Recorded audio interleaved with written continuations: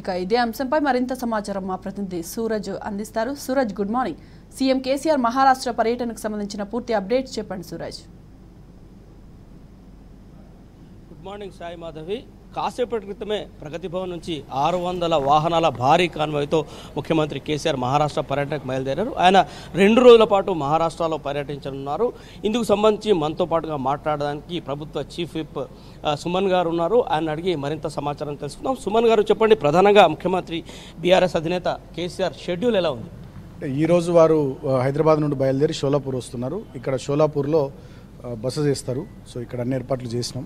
మధ్యలో వచ్చే మధ్యలో వచ్చే వాళ్ళందరికీ ఉమర్గా జిల్లా కేంద్రం దాటిన తర్వాత జాతీయ రహదారి పక్కనే భోజనాలు కూడా ఏర్పాటు చేసినాం. సుమారు పదిహేను వందల నుంచి రెండు వేల మందికి పైగా వస్తున్నారని తెలుస్తుంది. భోజనాలు కూడా ఏర్పాటు చేసినాం. రేపు ఉదయం ఇక్కడ నుంచి పండర్పూర్ టెంపుల్కు దర్శనానికి ముఖ్యమంత్రి గారితో పాటు మొత్తం సార్తో వస్తున్నటువంటి మినిస్టర్స్ కానీ ఎమ్మెల్యేలు ఎంపీలు ఎమ్మెల్సీలు అందరం కూడా వెళ్ళి దర్శనం చేసుకుంటాం. దర్శనం విఠలేశ్వరుని దర్శనం తదనంతరం అక్కడ ప్రముఖ నాయకులు ఎన్సీపీ పార్టీకి చెందినటువంటి నాయకులు నిన్ననే పార్టీకి రా ఎన్సీపీ పార్టీకి రాజీనామా చేసినారు భగీరథ్ బాల్కే అని. ఆయన మొన్ననే రీసెంట్గా జరిగినటువంటి అసెంబ్లీ ఎన్నికల్లో మూడు వేల ఓట్ల తేడాతో ఓడిపోయాడు. చాలా పేరున్న నాయకుడు. వాళ్ళ నాన్నగారు కూడా సుమారు మూడు సార్ల పండరిపూరు నియోజకవర్గం నుంచి ఎమ్మెల్యేగా పనిచేశారు. చాలా సీనియర్ నాయకుడు. మహారాష్ట్ర రాజకీయాల్లో బాగా పేరున్న ముఖ్యంగా ఈ పశ్చిమ మహారాష్ట్రలో బాగా పేరున్న నాయకుడు రైతు నాయకుడు. సో వారి చేరిక కార్యక్రమం ఉంది. సర్కోలి వారి సొంత గ్రామం పరిసరాల్లో సుమారు పదివేల మంది సమక్షంలో వారు రేపు కేసీఆర్ గారి నేతృత్వంలో పార్టీలో చేరుతున్నారు. ఆ కార్యక్రమం ముగిసిన తర్వాత తుల్జాపూర్లో తుల్జా భవాని అమ్మగారి అమ్మవారి దర్శనానికి ముఖ్యమంత్రి గారు అదేవిధంగా సార్తో వచ్చినటువంటి మినిస్టర్స్ ఎమ్మెల్యేలు ఎంపీలు ఎమ్మెల్సీలు అందరం కూడా చేసుకుని హైదరాబాద్కి బయలుదేరుతాం. గతంలో ముఖ్యమంత్రి గారు మొక్కుకున్నారు పండరిపూర్ రావాలి తుల్జాపూర్ రావాలని చెప్పి గతంలో ముఖ్యమంత్రి గారు మొక్కుకున్నారు. ఇంతకుముందు నాందేడ్ గురుద్వారా దర్శనం కోసం ఒకప్పుడు మొక్కుకున్నారు అది పోయినాము. సో ఈ రెండు మొక్కులు కూడా ఈ పర్యటనలో తీర్చుకోబోతున్నాం. అయితే రేపటి ఈ విఠలేశ్వర ఆలయ సందర్శన సందర్భంగా మనం చేసిన ఏర్పాట్లు ఎట్లా ఉన్నాయి? అంటే అక్కడ కొంత రేపటి ప్రత్యేకత ఏంటి అసలు యాక్చువల్గా అంటే ఇక్కడ ఆషాఢి అని చాలా పెద్ద పండుగ జరుగుద్ది. ఈ వారం రోజుల పాటు ఇది కొనసాగుతుంది. విఠలేశ్వరుని ఆ టెంపుల్కి పెద్ద ఎత్తున ఐదు వందల కిలోమీటర్ల దూరం నుంచి కూడా చాలామంది భక్తులు డివోటీస్ నడుచుకుంటూ వస్తారు. అంటే ఇది మహారాష్ట్రలో చాలా పెద్ద పండుగ. ఇది ఒక ఈ వారం రోజుల పాటు చాలా పర్వదినాలుగా భావిస్తారు. సో కొంతమంది అయితే తల్లిదండ్రులను భుజాల మీద మోసుకొని కూడా పల్లకీల్లో మోసుకొని కూడా వస్తారు. చాలా పుణ్యం దొరుకుద్దని చెప్పి అది ప్రశస్తి. అంటే గరీబోళ్ళ దేవునిగా ఆ దేవుని కొలుస్తారు చాలా మేము కూడా నిన్న పండర్పూర్ అంతా క్షేత్రస్థాయిలో చూసి వచ్చినాం. చాలా పవిత్రమైనటువంటి టెంపుల్ అది. సో ఈ ఈ వారం రోజుల పాటు చాలా పెద్ద ఎత్తున లక్షలాది మంది వస్తారు. ఈ ఆషాఢి ఇరవై ఏడు ఇరవై ఎనిమిది ఈ రోజుల్లో అయితే సుమారు ఒక్కో రోజు పన్నెండు పదమూడు లక్షల మంది వస్తారని చెప్పి నిన్న అధికారులు మాకు చెప్తా ఉన్నారు. చాలా పవిత్రమైనటువంటి పుణ్యక్షేత్రం అది. సో ముఖ్యమంత్రి గారు ఎప్పటి నుంచి అక్కడికి రావాలనుకున్నారు? ఇన్ని రోజులకు పూల వర్షానికి సంబంధించిన ఏదో ఏర్పాట్లు జరుగుతాయని తెలిసింది. అంటే ఈ ఆషాఢి సందర్భంలో ఏం జరుగుద్దంటే చాలామంది కొన్ని వందల కిలోమీటర్ల దూరం నుంచి భక్తులు వస్తూ ఉంటారు. వచ్చే వాళ్ళందరూ కలిసి ఈ టెంపుల్కు ఒక రెండు కిలోమీటర్ల దూరంలో ముందు ఐదు కిలోమీటర్ల దూరంలో పది కిలోమీటర్ల దూరంలో రింగ్ అని అంటారు. అందరు కలిసి ఒక దగ్గర ఉండి చుట్టూ తిరుగుతూ ఉంటారు. అదొక పెద్ద అసలు వేల మంది లక్షల మంది ఉంటారు. సో అక్కడ ఏంటంటే ఒక ఒక దగ్గర రింగన్ దగ్గర మేము హెలికాప్టర్ నుంచి ముఖ్యమంత్రి మన పార్టీ తరపున ఒక వెయ్యి కిలోలు అంటే ఒక టన్ను పూలు గులాబీ పూలు భక్తుల మీద మూడు విడతల్లో చాపర్ నుంచి మూడు విడతల్లో రేపు కురిపిస్తున్నాం. రేపు మన సాయంత్రం ఐదు గంటలకు రేపు ఆ కార్యక్రమం ఉంటుంది. ఆ చాపర్కి సంబంధించినటువంటి పర్మిషన్ గురించి రెండు రోజుల నుంచి ప్రయత్నిస్తున్నాము. సో అధికారులు సహకరి అధికారులు సహకరిస్తారని చెప్పి ఆశిస్తున్నాం. సో ఇవాళ పర్మిషన్ వస్తే హెలిప్యాడ్ కూడా తయారు చేసినాం. గవర్నమెంట్కి సంబంధించినటువంటి హెలిప్యాడ్ పండరిపూర్లో ఉంటే వాళ్ళు మాకు అవకాశం ఇవ్వలే సో మేము ప్రైవేట్గా మన భగీరథ్ బాల్కి వాళ్ళ ఊర్లోనే స్కూల్ గ్రౌండ్లో నిన్న హెలిప్యాడ్ ఏర్పాటు చేసినాం. దానికి సంబంధించి నిన్న నుండి పర్మిషన్ అడుగుతూ ఉన్నాం డినై చేస్తున్నారు. మోస్ట్లీ ఇవాళ వస్తుందని చెప్పి ఆశిస్తున్నాం. అయితే అబ్కీ బార్ కిసాన్కి సర్కార్ అని బీఆర్ఎస్ పార్టీతో దేశ రాజకీయాల్లో కేసీఆర్ దూసిపోతున్న పరిస్థితి. ఈ నేపథ్యంలో మహారాష్ట్రలో బీఆర్ఎస్ పార్టీకి సంబంధించిన ప్రస్థానం ఎలా ఉంది? అంటే నేను ఆల్మోస్ట్ ఆల్ ఆరు నెలలు అవుతుంది మహారాష్ట్రను దగ్గర నుండి చూస్తున్నా. చాలా కార్యక్రమాలు నాందేడ్ నుంచి మొదలుకొని ఇప్పటివరకు ఇప్పటివరకు ఇక్కడ తిరుగుతూ ఉన్నాం చూస్తూ ఉన్నాం.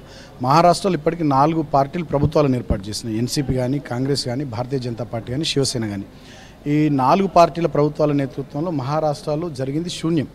ఎందుకంటే చాలా బాధాకరమైనటువంటి విషయం ఏంటంటే మహారాష్ట్రలో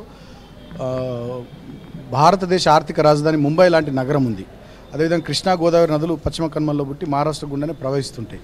సో ఇక్కడ ఇప్పటికీ తాగునీటికి ఇబ్బంది ఉంది సాగునీటికి ఇబ్బంది ఉంది సంక్షేమ కార్యక్రమాలు లేవు అభివృద్ధి కార్యక్రమాలు లేవు. మీరు కూడా చూస్తే రోడ్లు చాలా అధ్వానంగా ఉన్నటువంటి పరిస్థితి. సో ఇక్కడ ముఖ్యమంత్రి గారు చాలా బాధాకరంగా ఎప్పుడు చెప్పే మాట ఏంటంటే మహారాష్ట్ర ఒక ధనవంతమైన రాష్ట్రం. కానీ పనిచేయడానికి ఇక్కడ నాయకులకు మనసు రాలే. తొమ్మిది వందల డెబ్బై నాలుగు కిలోమీటర్ల బార్డర్ తెలంగాణతో మహారాష్ట్రకు ఉంటుంది. సో బార్డర్ దాటితే అటువైపు ఏమో అనేక రకాల సంక్షేమ కార్యక్రమాలు రైతుల కోసం మహిళల కోసం ప్రజల కోసం ఉన్నాయి. గ్రామాలు మంచి అవుతున్నాయి పట్టణాలు మంచి అవుతున్నాయి. ఒక సమ్మిళితమైనటువంటి అభివృద్ధి తెలంగాణలో కనబడతా ఉంది. సంక్షేమం కానీ అభివృద్ధి కానీ బ్రహ్మాండంగా కనబడతా ఉంది. అంటే తొమ్మిది సంవత్సరాల పరిపాలన దాంట్లో ఒక సంవత్సరంన్నర కరోనాతో పోయినా కేంద్ర ప్రభుత్వ సహకారం లేకున్నా ఇన్ని పనులు తెలంగాణలో అవుతుండడం నిజంగా మహారాష్ట్ర ప్రజలు కూడా ఆశ్చర్యపోతున్నారు. అందుకనే మీరు నాందేడ్ సభ నుండి నేను ఇప్పుడు ఈ సోలాపూర్ పండర్పూర్ పర్యటన వరకు చూస్తున్నా. పెద్ద ఎత్తున నాయకులు చేరుతూ ఉన్నారు ప్రజలు చేరుతూ ఉన్నారు రైతులు చేరుతూ ఉన్నారు మహిళలు యువకులు చేరుతూ ఉన్నారు. సో ఇంత ప్రేమ ఆదరణ ఇంత ముఖ్యమంత్రి గారికి కనబడుతుందంటే కేవలం తెలంగాణ మోడల్ ఇక్కడ ప్రజలకు నచ్చింది. అక్కడ ఏమి లేకున్నా తెలంగాణ వాళ్ళు పద్నాలుగేళ్ళు కేసీఆర్ నాయకత్వంలో పోరాటం చేసి రాష్ట్రం తెచ్చుకొని తొమ్మిది సంవత్సరాలు ఇంత బ్రహ్మాండంగా తయారు చేసుకున్నారు. ఇక్కడ ఇన్ని సంవత్సరాల క్రితం ఏర్పడ్డటువంటి రాష్ట్రం దశాబ్దాల క్రితం ఏర్పడ్డటువంటి రాష్ట్రం అయినప్పటికీ కూడా ఇంత ఆర్థిక రాజధాని నుండి నదులు మన దగ్గర నుండి పదమూడు పద్నాలుగు నదులు ఉండి మేజర్ నదులైనటువంటి కృష్ణా గోదావరి పశ్చిమ కన్మల్లో పుట్టి మన రాష్ట్రం నుండి ప్రయాణిస్తున్నప్పటికీ కూడా సాగునీళ్ళు లేవు త్రాగునీళ్ళు లేవు రైతుల ఆత్మహత్యలు యావత్మల్ లాంటి జిల్లా ఇవాళ దేశంలో అత్యధిక రైతులు ఆత్మహత్యలు చేసుకుంటున్నటువంటి జిల్లాగా రికార్డుకి ఎక్కింది ఇటువంటి దౌర్భాగ్య పరిస్థితుల్లో డెఫినెట్గా తెలంగాణ మోడల్ కావాలి కేసీఆర్ నాయకత్వం కావాలనేది ఇక్కడ ప్రజలు కోరుకుంటున్నారు. అందుకని బీఆర్ఎస్ పార్టీకి విపరీతమైనటువంటి ఆదరణ వస్తుంది. అది తట్టుకోలేకనే నేను నిన్న మొన్న చూస్తుంటే ఇక్కడ మాజీ ముఖ్యమంత్రి సుశీల్ కుమార్ షిండే తిడుతున్నాడు మమ్మల్ని. భారతీయ జనతా పార్టీ రాష్ట్ర అధ్యక్షుడు భవన్ కూడా తిడుతున్నాడు. శరద్ పవార్ తిడుతున్నాడు. అజిత్ పవార్ తిడుతున్నాడు సంజయ్ రావుత్ తిడుతున్నాడు ఇప్పటిదాకా మా అశోక్ చవాన్ తిడుతున్నాడు. నాలుగు పార్టీల అగ్రనాయకత్వం అంతా మమ్మల్ని తిట్టుడే తిట్టుడు. ఒకరేమో బీఆర్ఎస్తో ఏం కాదంటారు ఒకరేమో బీఆర్ఎస్ని పట్టించుకోమంటారు ఒకరు కేసీఆర్ వచ్చిపోతే ఏమవుతుందని ఇంకొకరు అంటారు. ఈ బీఆర్ఎస్ చేయబట్టి ఏ పార్టీకి ఏమవుతుందని ఇంకొకరు మాట అంటే వాళ్ళందరూ ఈ మధ్యకాలంలో గడిచిన కొన్ని రోజులుగా సీరియస్గా రియాక్ట్ అవుతున్నటువంటి తీరు చూస్తే వాళ్ళ పీఠాలు కదులుతున్నాయి అనేది డెఫినెట్గా అర్థమవుతున్నది. సో రెండు వేల మూడు రెండు వేల మూడు తెలంగాణ ఉద్యమం మొదలైంది రెండో మలిదశ ఉద్యమం. రెండు వేల మూడు తర్వాత మరొకసారి కేసీఆర్లో ఆ ఉద్యమ పోకడ ఉద్యమ పంథ కనిపిస్తుందా? మహారాష్ట్రలో దూసుకెళ్తున్న విధానం ఎట్లా ఉంది? అంటే కేసీఆర్ గారి ఆలోచన ఏంటంటే వారు ఆనాడు ఉద్యమ నాయకుడిగా రాష్ట్రాన్ని దేవడం కోసం తపన పడ్డటువంటి తీరును నేను దగ్గరగా చూస్తున్నా చూసిన ఆ రోజు. ఇవాళ తెచ్చిన రాష్ట్రాన్ని బాగు చేయడం కోసం ప్రభుత్వాధినేతగా ఆయన తపన ఆయన కష్టము ఆయన తన్లాట అంతా కూడా నేను దగ్గరగా చూస్తున్నా. సో ఆనాడు ఏ ఉద్యమ స్ఫూర్తితో వారు పనిచేసినారో ఇవాళ కూడా అదే స్ఫూర్తితో రాష్ట్రం బాగు కోసం ప్రయత్నం చేస్తూ ఉన్నారు. సో వారు ఈ మధ్యలో మాట్లాడుతున్నటువంటి విషయాలు ఏంటంటే అరే మనం తెచ్చుకున్నటువంటి రాష్ట్రం అతి తక్కువ సమయంలో ఇంత మంచిగా చేసుకుంటున్నప్పుడు డెబ్బై ఐదు సంవత్సరాల స్వతంత్ర భారతదేశ చరిత్రలో అన్ని వనరులుండి అద్భుతమైనటువంటి సహజ వనరులుండి ప్రకృతి సంపద ఉండి మానవ వనరులుండి మన దేశం ఎందుకు బాగు చేసుకోలేకపోతుంది? అంటే దేశంలో ఉన్నటువంటి ప్రభుత్వాలు కానీ పార్టీలు కానీ ఎందుకు పట్టించుకోవట్లేదు? కాబట్టి మనం తెలంగాణ మోడల్ దేశమంతా విస్తరించాలి. తెలంగాణలో జరిగినటువంటి పనులు కార్యక్రమాలు సంక్షేమం అభివృద్ధి దేశమంతా జరగాలి అనేటటువంటి ఆలోచనతో ఇరవై నాలుగు గంటల రైతులకు ఉచితంగా కరెంట్ ఎందుకు ఇవ్వద్దు దేశమంతా? త్రాగే నీరు దేశమంతా ప్రజలకు మిషన్ భైరత లాంటి ప్రాజెక్ట్ దేశమంతా ఎందుకు రావద్దు? తెలంగాణలో మూడు సంవత్సరాల కాలంలో అతి అతి తక్కువ వ్యవధిలో కాళేశ్వరం లాంటి ప్రాజెక్టు కట్టుకుని ఎగువనున్న మహారాష్ట్ర ముఖ్యమంత్రిని పిలుచుకొని దిగువనున్నటువంటి ఆంధ్రప్రదేశ్ ముఖ్యమంత్రిని పిలుచుకొని నదీ జలాలు పంపకాల్లో ప్రాజెక్టుల నిర్వహణలో ప్రాజెక్టులు కట్టుకోవడంలో మనం చూపించినటువంటి ఆలోచన విధానం. సో ఆ రకంగా దేశమంతా ఎందుకు పని చేసుకోవద్దు ఎందుకు ఆ రకమైనటువంటి ఓరియంటేషన్ కంట్రీలు డెవలప్ కావద్దు అనేటటువంటి ఆలోచనతో వారు సీరియస్గా ఈ మధ్య మధ్యలో వారు ప్రయత్నాలు చేస్తూ ఉన్నారు. దాంట్లో భాగంగా టీఆర్ఎస్ను బీఆర్ఎస్గా మార్చి జాతీయ స్థాయిలో ఇవాళ మన ప్రభావం చూపెట్టాలని దేశానికి ఒక దిశానిర్దేశం చేసే విధంగా ఎజెండాను పెట్టాలని చెప్పి గుణాత్మకమైనటువంటి మార్పు దేశ ప్రజల జీవితాల్లో రావాలని కంప్లీట్గా అన్ని రకాలైనటువంటి పాలసీలను దేశంలో సమూలంగా మార్చేయాలనేటటువంటి ముఖ్యమంత్రి ఆలోచన. ఎందుకంటే ఆనాడు పంతొమ్మిది వందల నలభై ఏడులో భారతదేశానికి స్వాతంత్రం వచ్చినప్పుడు అప్పుడు ఉన్నటువంటి జనాభా అప్పుడు ఉన్నటువంటి పరిస్థితులు ప్రపంచంలో అప్పుడు ఉన్నటువంటి పోకడలు వాటిని పట్టుకొని పెట్టుకున్నటువంటి పాలసీలు. ఇవాళ చాలా మార్పులు వచ్చినాయి. ఒకనాడు మామూలు టెలిఫోన్ లేని రోజు నుంచి ఇవాళ సెల్ ఫోన్ చేతికి వచ్చింది. ఒకనాడు పెద్ద కంప్యూటర్ నుంచి ఇవాళ ఐప్యాడ్లు చేతికి వచ్చినటువంటి ఈ ల్యాప్టాప్లు వచ్చినటువంటి పరిస్థితుల్లో పెరిగినటువంటి టెక్నాలజీకి అనుగుణంగా ప్రజల జీవితాల్లో తర్వాత ప్రజల ప్రజల ఆలోచనలో వచ్చినటువంటి మార్పుకు అనుగుణంగా దేశం కూడా డెఫినెట్గా పాలసీలను మార్చుకోవాలి. There must be change in every policy irrigation policy మారాలి పవర్ పాలసీ మారాలి అదేవిధంగా నదీ జలాల పా పాలసీ మారాలి ఇండస్ట్రీ పాలసీ మారాలి ఎకానమీ పాలసీ మారాలి దేశానికి సంబంధించిన అన్ని పాలసీలు సమూలంగా మార్చేసి ఒక స్పష్టమైనటువంటి నూతన పోకడతో నూతన ఆలోచన విధానంతో ఇవాళ యూరోప్ కంట్రీస్ లాగా వెస్టర్న్ కంట్రీస్ లాగా నార్త్ అమెరికన్ కంట్రీస్ లాగా లైక్ అమెరికా కెనడా లాగా మనం కూడా ఆలోచించాలి. మనం కూడా మన ప్రజల జీవితాల్లో అద్భుతమైనటువంటి గుణాత్మక మార్పు తీసుకొచ్చే దిశగా దేశంలో బ్రహ్మాండమైనటువంటి మౌలిక వసతుల కల్పన జరిగే విధంగా దేశం ముందుకు పోవాలి. దానికోసం బీఆర్ఎస్ పార్టీ జాతీయ యవనికపై తన ఎజెండాను స్పష్టంగా పెడుతుంది. అవసరమైతే దేశానికి నాయకత్వం వహించే స్థాయికి కేసీఆర్ గారి నాయకత్వంలో బీఆర్ఎస్ పార్టీ ముందుకు పోతుంది. తద్వారా తెలంగాణలో ఇవాళ ఏమైతే పనులు చేస్తూ ఉన్నామో అవన్నీ కూడా దేశమంతా ఇంప్లిమెంట్ చేయాలి. దేశానికి మంచి చేయాలనేటటువంటి ఆలోచన. దాంట్లో ముఖ్యంగా రైతులు కానీ మహిళలు కానీ దళితులు కానీ గిరిజనులు కానీ బడుగు బలైన వర్గాలు మైనారిటీలు వీళ్ళందరికి సంబంధించి మంచి పని జరగాలి. దేశం గొప్ప ఆలోచన విధానంతో ముందుకు పోవడం ద్వారా అసలు ఇవాళ దేశానికి ఒక దిశానిర్దేశం చేసేటటువంటి నాయకుడే లేడు. ఎంతసేపటికి మత కలహాల గురించి ఒకడు మాట్లాడతాడు కులాల గురించి ఇంకొకడు మాట్లాడతాడు చిల్లర రాజకీయాలు కుర్చీల కొట్లాటలు వాళ్ళ పదవుల పంపకాలు ఇవి తప్ప అసలు అన్ని పొలిటికల్ పార్టీలు ఎక్సెప్ట్ బీఆర్ఎస్. ఇవాళ వాళ్ళ ఎజెండా ఏందండి? ఈ బీజేపీ పోతే కాంగ్రెస్ రావాలి కాంగ్రెస్ పోతే ఇంకో ఫ్రంట్ రావాలి. ఇవి తప్ప సీట్లు ఓట్లు తప్ప ఇవాళ దేశ ప్రజలు దేశ సంపద దేశం ఏ విధంగా ముందుకోవాలనే ఎజెండా ఏ ఒక్క పార్టీకి లేదు. ఇది బాధాకరం. కాబట్టి ఇవాళ డెబ్బై ఐదేళ్ళలో ఫ్రంట్లు చూసిరు జనాలు కాంగ్రెస్ను చూసిరు బీజేపీని చూసిరు ఇవాళ డెఫినెట్గా బీఆర్ఎస్ పార్టీ పెడుతున్నటువంటి ఎజెండా సెట్ చేస్తున్నటువంటి ఎజెండా చుట్టూ స్పష్టమైనటువంటి చర్చ జరుగుతూ ఉంది దేశంలో.